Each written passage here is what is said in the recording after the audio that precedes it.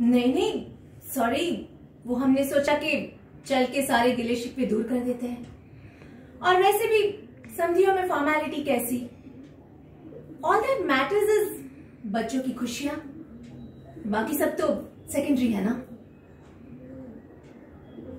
भाभी जी believe me हम भी बहुत शर्मिंदा है। इस वास्ते तो सॉरी कहने आए हैं और समझाने। क्या हम ये सब बातें भूलकर नए से शुरुआत नहीं कर सकते। समझे होने से पहले हम दोस्त रहे हैं। तो क्या हमारी दोस्ती के खातर? बच्चों के खातर? देखिए भाभी जी, आप ठंडे दिमाग से सोचिए। हम सब बैठ के इस मैटर को सॉल्व कर सकते हैं। हम्म? शगुन एक मिनट। बात कर रही हूँ ना मैं?